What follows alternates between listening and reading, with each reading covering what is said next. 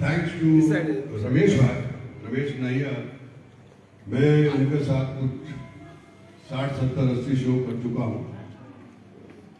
और उनका जो बेटा है राघव वो मेरा दिल के बहुत नज़दीक है। हम लोग सब माता पिता बहुत मेहनत करते हैं कि हमारी औलाद आगे बढ़े। और मेरा प्रडिक्शन है कि जो इनका बेटा है राघव राघव किधर हो सामने खड़े हो जाओ।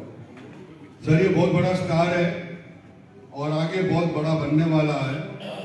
इसको खड़ी खड़ी इंट्रोड्यूस कराते हैं, भोजपुरी एक्टर मैं बोलता हूँ एक्टर भोजपुरी हो, हिंदी हो, बंगाली हो एक्टर एक्टर है कि ये कल का बहुत बड़ा स्टार है इसको बच्चे को क्योंकि मेहनत हर इंसान को करनी पड़ती है। मैं इसको मेरे कमरे में बोल रहा था कि अमिताभ बच्चन को भी चौदह फ़िल्में फ्लॉप होने के बाद।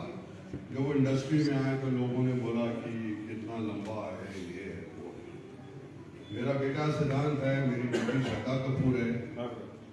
मैं दोनों बच्चों को एक ही बात समझाता हूँ कि ज़िंदगी है, इसको गिव अप नहीं करना है।